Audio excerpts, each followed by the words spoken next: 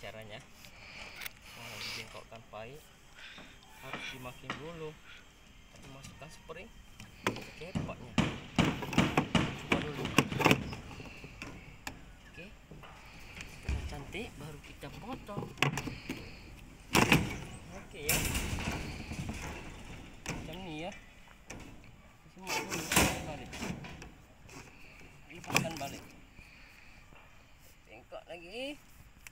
pusing lagi eh ini namanya cutter pie